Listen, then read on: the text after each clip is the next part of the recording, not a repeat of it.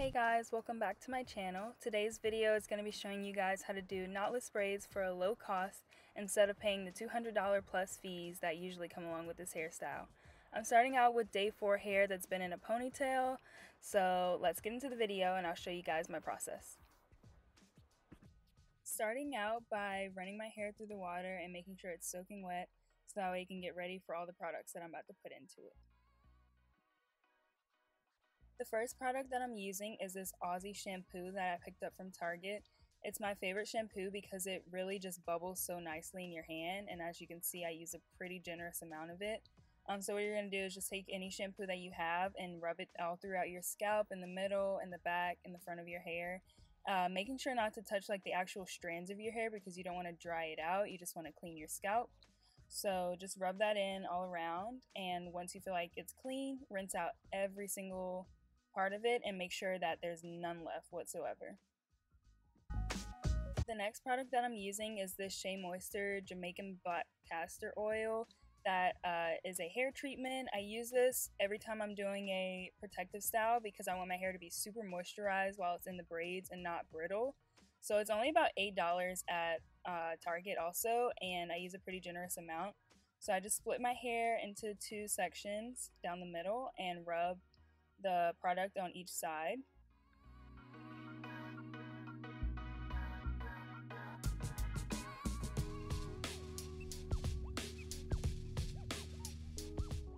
Once it's rubbed in on each side, I use this Denman brush that I picked up from Target again and uh, use it to comb out each section very thoroughly, making sure to get the product in each part of the hair and every strand. So that way it's super moisturized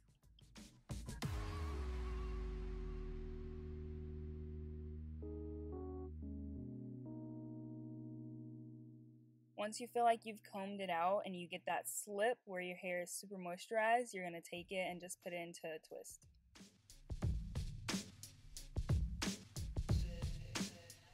And then once you do that, you're going to repeat this process on the other side of your hair.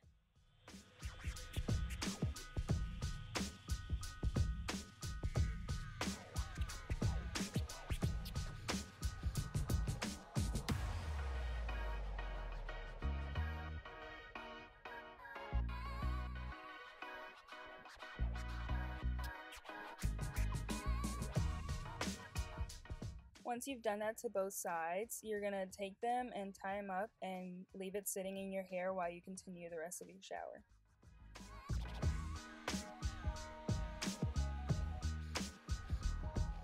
After that's sat in your hair for a while, you're going to take it out and rinse out both sections of your hair.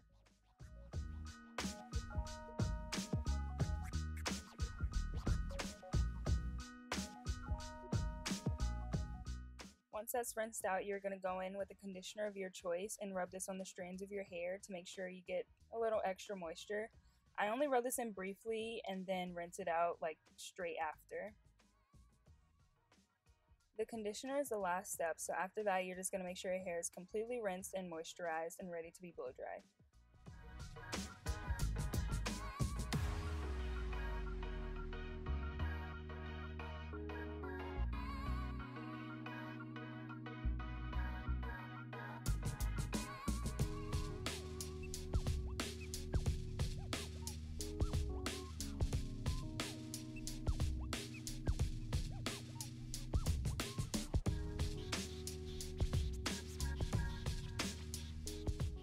So now that our hair is washed and our scalp is clean and our hair is moisturized, we're going to go in and blow dry our hair.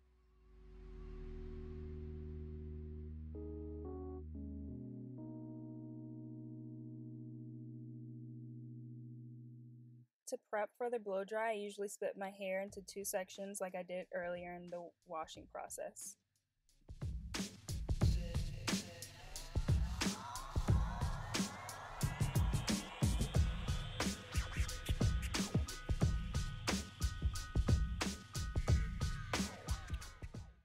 Are the three products that I'm using to blow dry my hair and to make the process a little easier.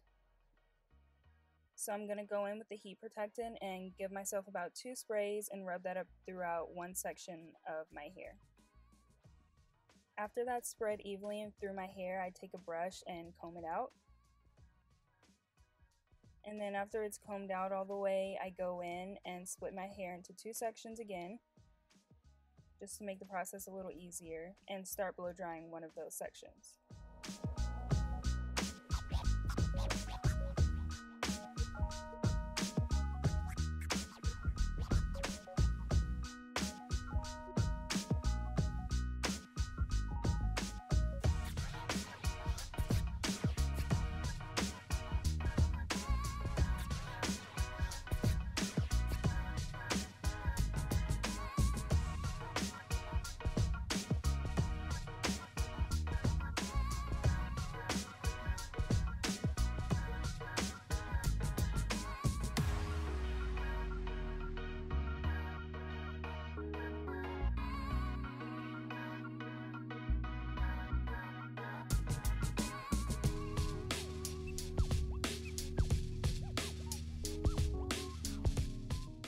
After I repeated that process on the other side, this is the final look. Let's just disregard how many different lengths my hair is. Um, yeah. Next, we're going to go in with two products, rubber bands and a rat tail comb with a pointy end. And we're going to part our hair. I don't know about you guys, but I am terrible at parting hair. So this is probably the worst part, the hardest part of this process.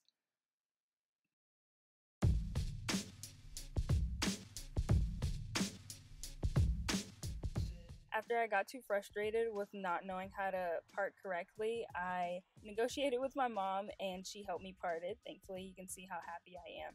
So she parted the rest of my hair, and for the parts, we're just going in big sections straight across my hair, and then for the middle, we're gonna go straight down the middle.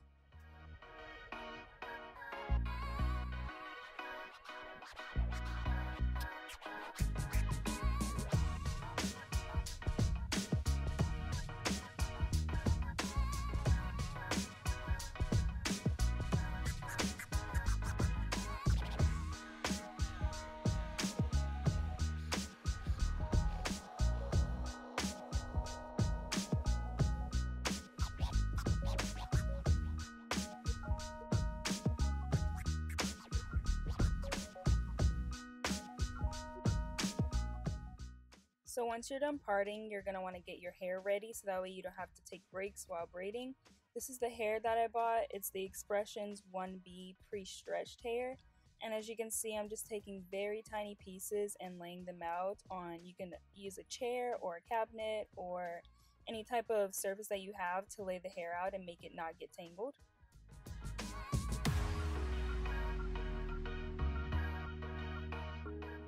So for this section, I'm just going to show you guys the process of me braiding without actually explaining how to do it.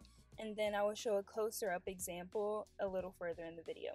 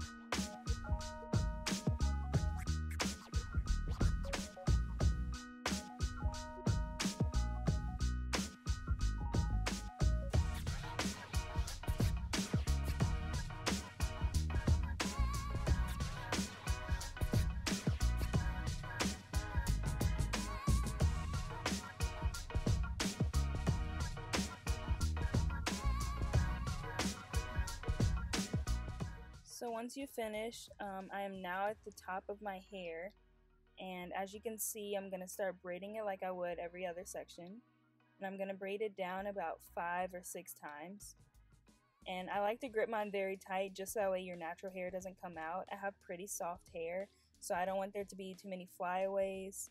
Um, you can also gel it down a lot, use your edge control to do that.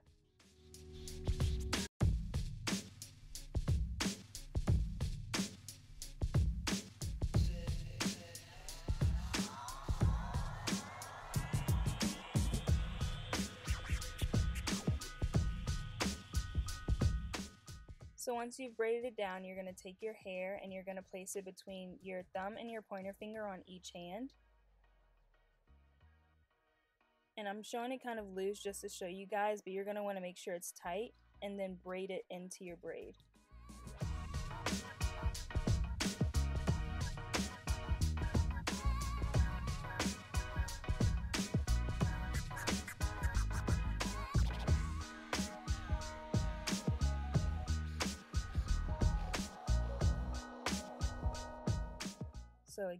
Going to take a piece of your hair and put it between your pointer and your thumb or thumb on each hand. And then on the side that doesn't have the hair attached to it, you're going to flip that over and continue braiding.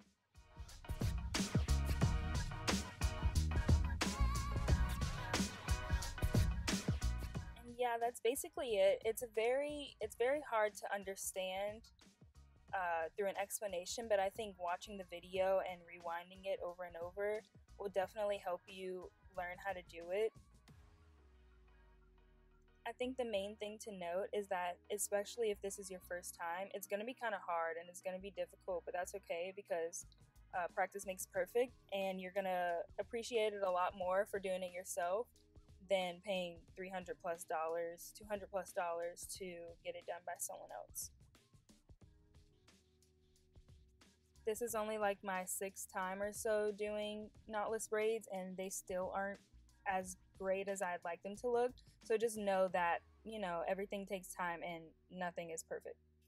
And you got this.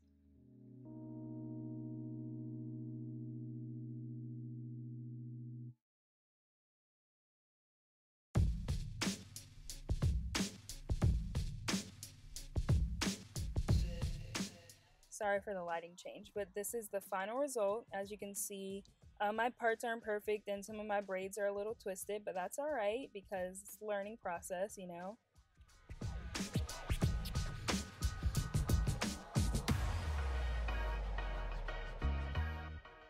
So next I'm just going to go in with this tea tree oil that I got from Walmart. And I'm just going to rub this all throughout my scalp and make sure that my scalp is moisturized and that my uh, hair isn't too brittle. And then I'm going to go in with my toothbrush and some edge control and do my edges. Now you got to get your edges done.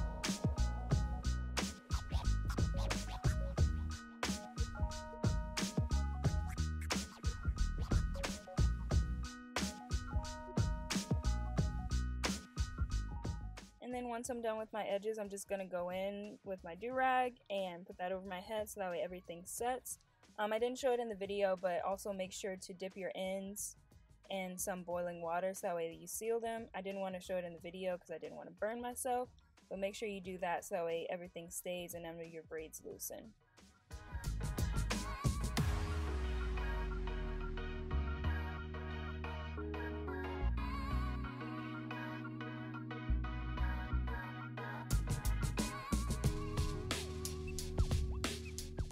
So this is the final product. Thank you guys so much for watching this video. I hope you learned and I hope this was useful.